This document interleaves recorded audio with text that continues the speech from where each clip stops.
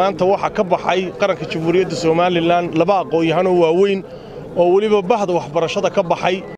Waxaa weliisa soo taraya tacsida loo dirayo ehelada iyo guud ahaan bulshada soomaaliyeed ee uu ka baxay allaha u naxariiste. Siyaasi ismaaciil maxamed hurre buubaa oo xilal ra'iisul wasaare ku-xigeen iyo wasiirnimo ka soo qabtay dowladda federaalk ah ee soomaaliya siyaasiga ayaa maanta ku geeriyooday dalka turkiga waxaana tacsi kala duwan u diray madaxweynaha somalilan mudane muuse biixi cabdi iyo murashaxa madaxweyne ee xisbiga mucaaradka ah ee waddani doctor cabdiraxmaan maxamed cabdilaahi cero sidoo kale qaybo ka mid ah mas'uuliyiintii iyo dadkii ka soo qayb galay aaska isagana allaha u naxariistay wasiirkii hore wasaaradda warfaafinta ee somalilan cabdiraxmaan guri barwaaqo oo maanta magaalada hargeysa lagu aasay ayaa iyaguna dhankooda tacsi taasi la mid ah u diray ehelada iyo guud ahaan bulshada soomaaliyeed ee uu ka baxay siyaasi buuba waxaana yidhaahdeen. Isaguna maanta waxaa dhintay oo raacay ismaaciil buubaa waa laba odayoo weyn oo reerkiisa labadaba ilaahay naxariistii jannaha ka waraabiyo labaduba waxay ka baxeen bahda waxbarashada oo ummaddan marka laga taga wasiirnimada iyo xilalkay soo qabteen waxay wax ku lahaayeen aasaaska iyo dhidibada ummaddan waxbarashadeeda. Waxaan labadaba ilaahay uga baryayaa naxariistii janno samriye imaan ehelkii iyo dadkii iyo shacbiga reer somalilanba. Oday weyn haa jaahid aslamta in badan soo jiraha inta dambena siyaasadda maaragtay ka muuqday ilaahu naxariisto. Isagana waxaan uga baryayno ilaahay uu jannatalfirdowsa geeyo.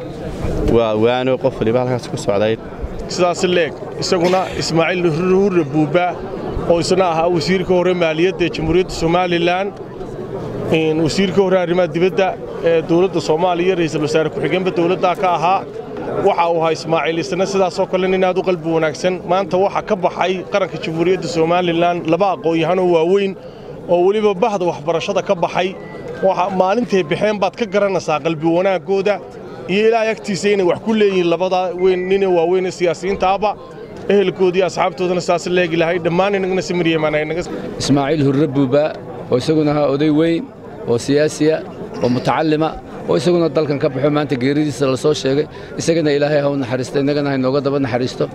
Bulshadana waxaan ka codsanaynaa marxuumiintaa dhintay qof kastoo ama ay wax isku qabteen ama ay arrin ka dhexeeye ama wax jiray in laysa saamaxo. Maanta ilaahay bay hor joogaan labadooduba ha laysa saamaxo. Waxaa kaloo oon halkan uga tacsiyadaynayaa ismaaciil buubaa oo isaguna maanta geridiisa la soo sheegay. Isaguna haadee nin siyaasiyo weyn oo la wada yaqaano. Bahdii waxbarashada ahaa ilaahay tabaaraka watacaala sina naxariista jannaalaha ka waraabiyo. Sidaa la sheegay siyaasaddu way iska yaro qodxa badan tahay. Marka dee labadaa ninba ciddii ay wax isu qabteen wax isjiidheen qalinka wax isu mariyeen midiya wax isu mariyeen. Ama hadalladoodii dhibsatay inaynu saamaxnaa muhiima maanta iyaga inaga hooseeya. Sidoo kale waxaan halkan tacsi uga dirannaa brofeser ismaaciil buubaa oo hadda isna turkiga ku geeriyooday geeridiisa la soo sheegay. Waxaan leenahay ilaahay subxaana wa tacaala isna ha u naxariisto qaranka somalilan iyo ehelkiisiina. Samiriya imaan jabiila ha ka siiyo. Dhammaanteenna waxaynu isxasuusinaynaa marxuumiintaa dhintay oo labaduba siyaasiyiin ahaa inaynu u ducayno isa saamaxno aynu saamaxno weliba iyaga una ducayno maalmaha khayrkale inuu ilaahay naxariistii janno ka waraabiyo